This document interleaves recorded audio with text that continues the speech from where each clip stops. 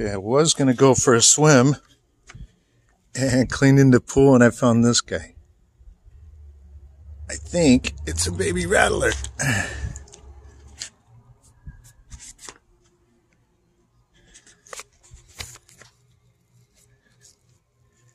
Yeah, that's a baby rattlesnake right there.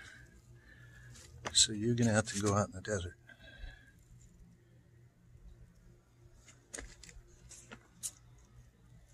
Yeah, I, I was like, what is in the skimmer?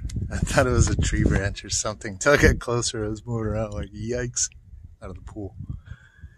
All right, let's get a box and remove this guy.